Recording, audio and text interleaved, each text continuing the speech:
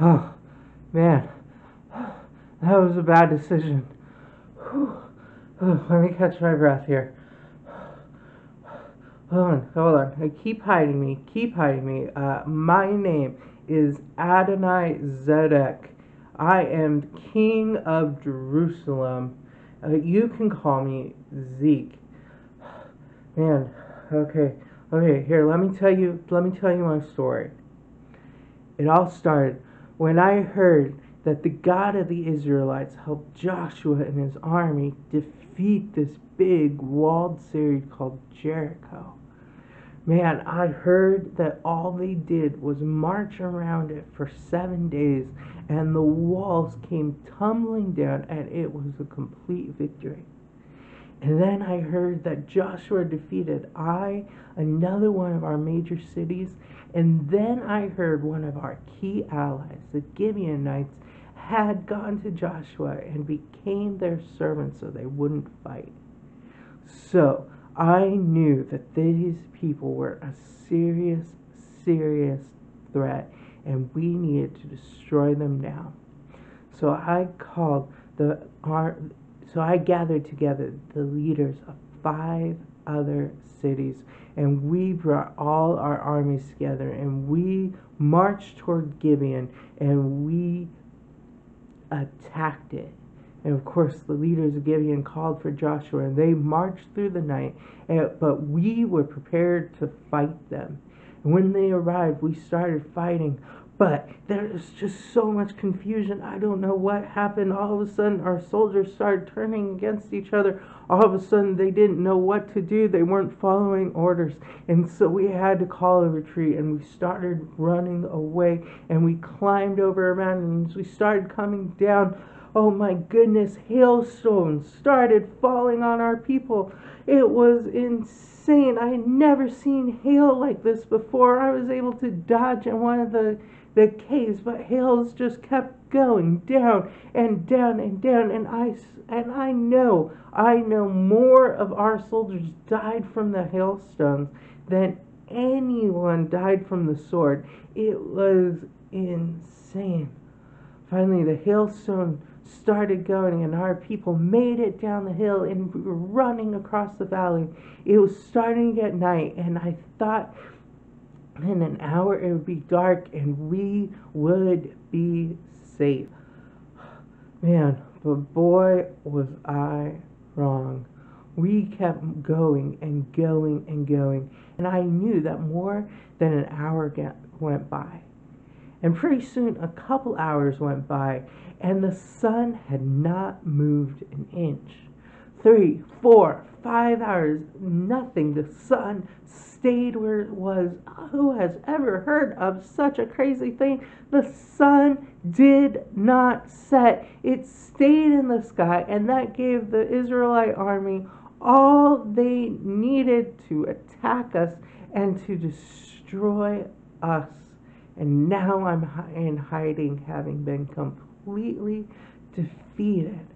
And I don't get it.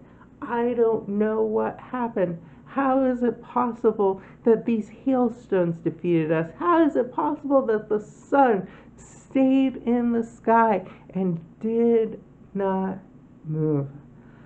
Man, I guess there is only one possible conclusion you can have.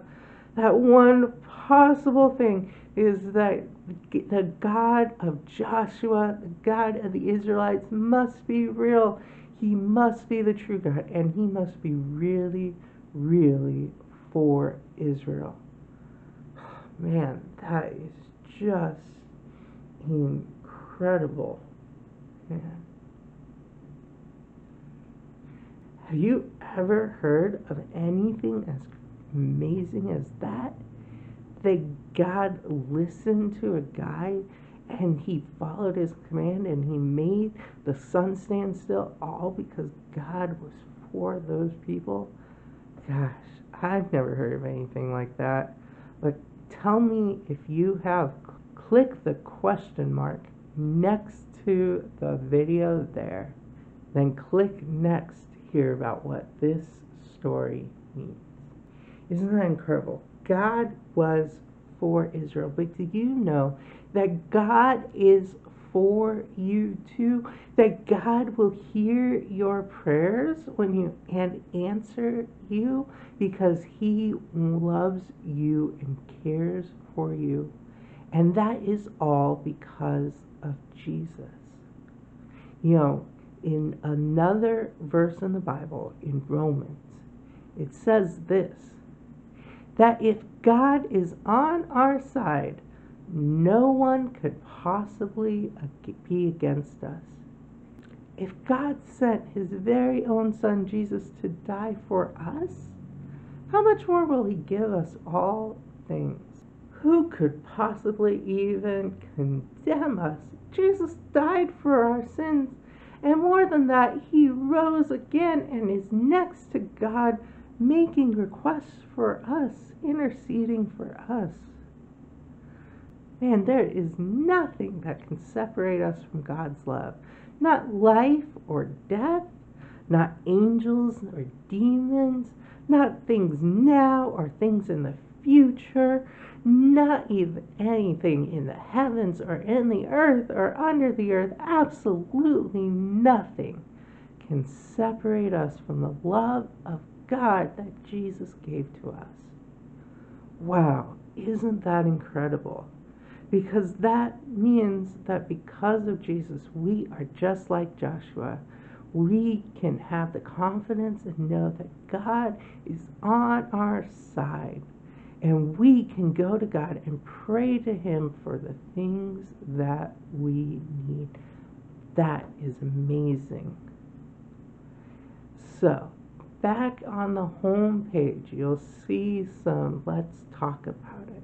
And there are three questions there to help you think about this verse and what it means and to guide you into praying for what you need. So click on that as a family and have that conversation. Also, look at our arts and our games and our songs and our memory verse. Thank you.